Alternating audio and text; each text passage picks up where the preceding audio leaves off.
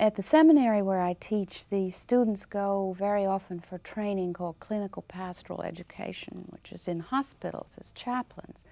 That is excellent training because there people are in crises. Even if the baby's born happily, even if the leg is not amputated, you have lived at the end of a string thinking it's just going to be cut off. And uh, whatever you believe, whatever it is, it, it holds or it breaks there.